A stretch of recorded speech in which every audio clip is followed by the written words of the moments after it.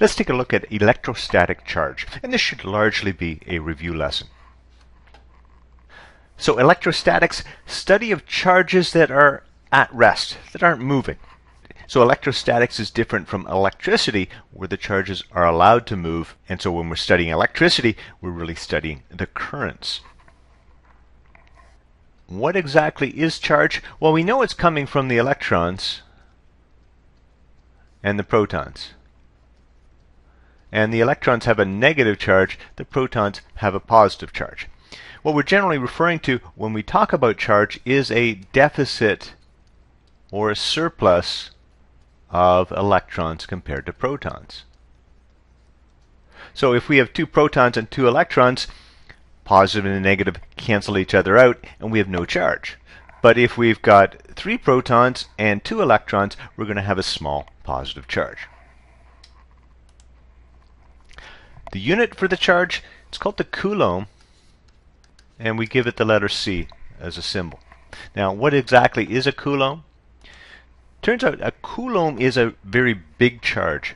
If we have a deficit of exactly one electron, that is, we have one more proton than electron, then we get a charge of only 1.6 times 10 to the minus 19 coulombs.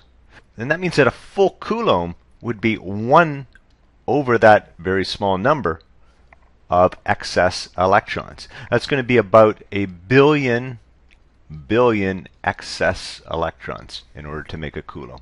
So a coulomb in fact is a large amount of charge. We have a fundamental rule of electrostatics and that is that like charges will repel whereas opposite charges attract. So if you've got two electrons they're going to push each other away. But if we've got a proton and an electron, they're going to attract each other.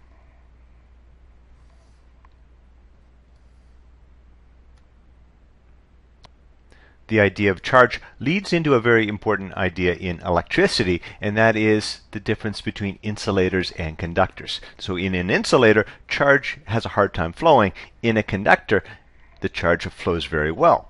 At least for our purposes, what that's going to mean is if we've got an insulator, the electrons are going to be attached to the positive nucleus. There's going to be a strong bond there, and your atom there is going to be balanced, an equal amount of positive and negative charge. And there won't be any charge available to flow.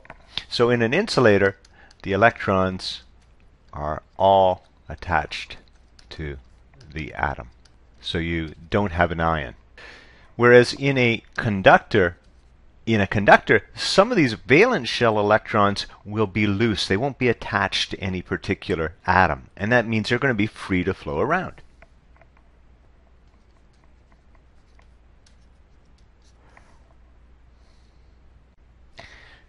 So why is it that metals are the best conductors? Well, the metals have these free electrons that aren't attached to any particular atom. So there's this lattice here of these positive ions, which is composed of that positive nucleus and the electrons that are attached to the atom.